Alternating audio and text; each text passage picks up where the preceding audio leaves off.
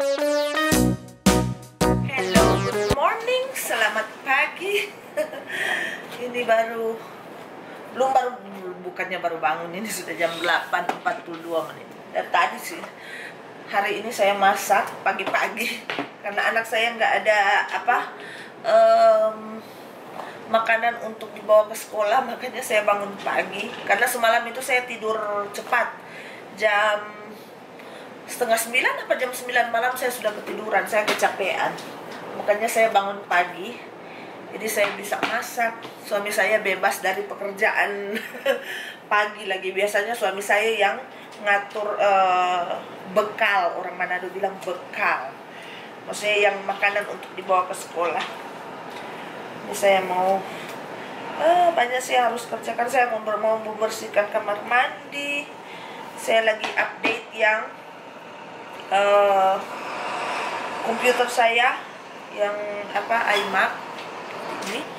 Sudah bersiap-siap. Sekarang saya pakai yang em, apa ha, eh, Oh kok saya nggak bisa ngomong pagi-pagi. Saya pakai kamera yang apa namanya yang eh, Sony sekarang. Karena sudah cukup lama saya nggak pakai yang kamera ini. Nanti dia ber apa bermarah-marah dengan saya. Jadi ini saya mau ngatur apa dulu? Ya saya mau ngatur eh, tempat tidur saya dulu.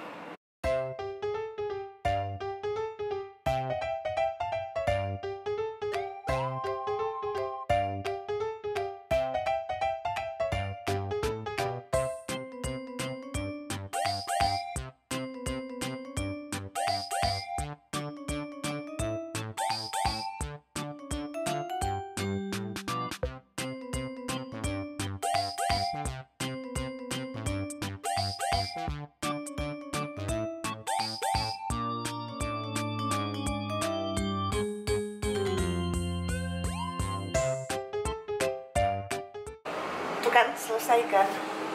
Lama-lama sih. Cuma kamar saya itu berantakan. Oh my goodness. Jadi di sini ada oh, bermacam-macam ini. Ada ini apa? Kalau baju itu ada yang kena putih-putih, baju hitam ada putih-putih itu biasa saya tapi ada pewangi ruangan. Oh my gosh. Huh. Gitulah kalau di rumah. Sorry ya kalau bergerak-gerak karena saya pakai yang ini, yang Sony jadi agak bergerak-gerak. Ini juga ah, apa? um, apa nih? Eh, yang untuk rambut karena saya nggak langsung taruh di tempatnya kalau saya pakai gitu. Karena wish dia masih panas kan jadi saya harus eh, dinginkan dulu dia di meja atau di lantai baru simpan. Gitu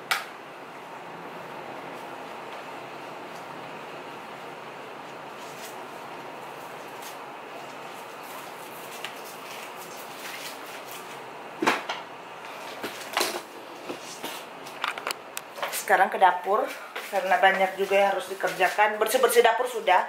Saya sambil masak sambil bersih dapur. Dan ini oh by the way ini.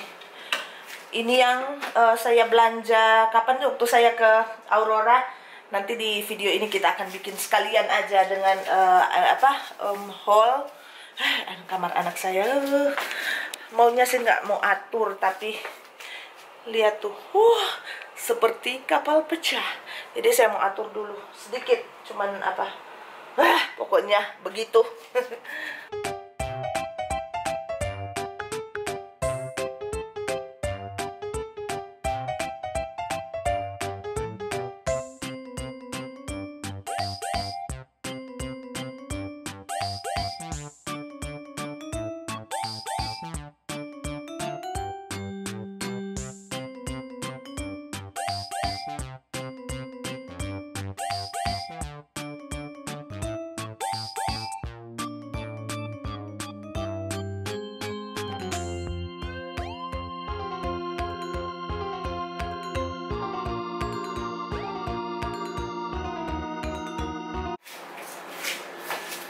Oke, jadi ini saya lagi eh, ngedit-ngedit dan tadi saya masak ini meatloaf with em, apa telur. Kalau sini sudah bersih tapi lantainya masih kotor. Saya belum nyuci apa bersihin dapur. terus ruangan tamu mau bersihin sedikit yang dapur ini eh yang ruangan tamu oh biasalah laki-laki ini yang ini saya sih sebenarnya paling nggak suka gitu ya suami saya itu saya suka itunya saya suka itunya. Mau saya itu kalau mereka pakai yang throw atau yang kayak selimut gitu di tempat tidur itu langsung diatur lagi gitu sebelum masuk kamar kalau malam gitu. Cuman ya begitulah. Ah ini lagi. Sorry ya memang akan bergerak-gerak uh, video kali ini. Tapi ya begitulah suami saya. Sudah kebiasaannya malam kalau mau tidur bergerak lagi kalau mau tidur itu dia cuma biarkan begitu. Jadi saya yang stres. Jadi saya mau lanjutkan dulu apa mau punya sudah ada makanan sudah ada nasi sudah ada ikan. Saya mau ngedit dulu dan kita lanjutkan sebentar. Nah jadi ini sudah selesai. Edit mengedit. Saya sudah juga selesai. Bersih bersih rumah. Uh, oh, tapi tempat tidur tempat duduknya belum diatur. Eh apa namanya um, tapi saya sudah nyapu saya sudah ngepel. Jadi semuanya sudah bersih. Ini gimana nih? Nah itu. Saya mau ngatur itu dulu. Uh saya juga dari sekolah anak saya. Dia lupa bawa lagi ada satu surat yang saya dia suruh saya tanda tangan tadi pagi. Cuman dia taruh di kamarnya dan dia lupa. Akhirnya saya juga yang bawa. Padahal saya itu sebelum dia keluar rumah itu saya sudah bilang ke dia itu ja, apa e, periksa semua jangan sampai ada lagi yang lupa. Karena kadang kan kalau saya nggak ada di rumah gimana? Nggak ada yang mau bawa yang barang. Tapi ya dasar lupa oh my gosh. Saya mengantuk. Nggak tahu gimana belum mandi saya pingin mandi sekarang. Kayaknya saya mandi dulu supaya saya mau bikin yang um, haul yang saya belanja itu. Jadi saya mau mandi dulu ya. Hah, jadi saya sudah selesai mandi saya mau atur dulu. Jadi saya sudah selesai mandi dan mari kita berhaul-haul. Yang saya belanja di uh, apa namanya um, Aurora Outlet. Saya belanja cuman sedikit cuman ini. Cuman ini doang cuman sedikit. Saya nggak belanja banyak karena uh, uang sedikit.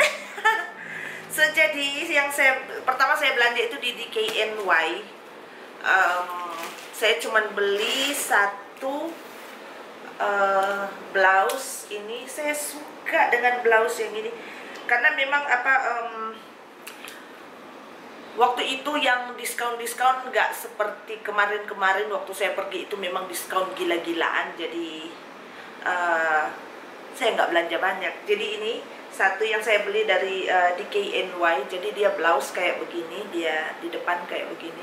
Simple sederhana tapi yang bikin bagus itu dia ada kayak begini di tangan. Dan ini harganya uh, harga apa ya harga um, yang sebenarnya itu dia harga 59 dolar. Lihat ini. Kelihatan kan? 59 dolar. Tapi karena dia sudah masuk di clearance dia tinggal jadi 20 dolar. 19 dolar uh, 98 cents. Jadi lumayan kan dari 59 60 dolar dia jadi dari 60 dolar dia jadi 20 dolar. Makanya saya ambil karena harganya bagus. Terus apalagi? Oh ini yang saya beli ya yang terus yang di uh, Mas Max Mara. Kita masuk di Max Mara itu dia um, toko bajunya mahal-mahal. Lumayan mahal tapi saya dapat satu ini dengan 80% diskon ini dia kayak uh, dress kayak begini. Saya suka dengan dress ini dengan warna yang saya suka dan juga dengan tangannya yang kayak begini ya agak lebar gitu. Dia nggak ada apa nggak ada um, apa namanya nggak ada uh, desain desain gimana gimana dia cuma kayak begini. Terus ini dari harga um, 213 dolar ya 213 dolar harganya yang sebenarnya ya atau 215 ini saya nggak tahu terlalu apa. Oh 205 215 dolar dan dia diskon 80 persen. Jadi saya bayar itu dia cuma berapa dia ini? Jadi ini dia dari Max Mara ini dia dapat kayak envelope masukin yang res receipt yang nota. Terus dia jadi dari harganya dari um, 245 ya 245 dolar. Terus dia jadi uh, diskon 80% jadinya cuman uh, 40 dolar sekian gitu. Pokoknya cuman iya cuman 40 dolar sekian kayaknya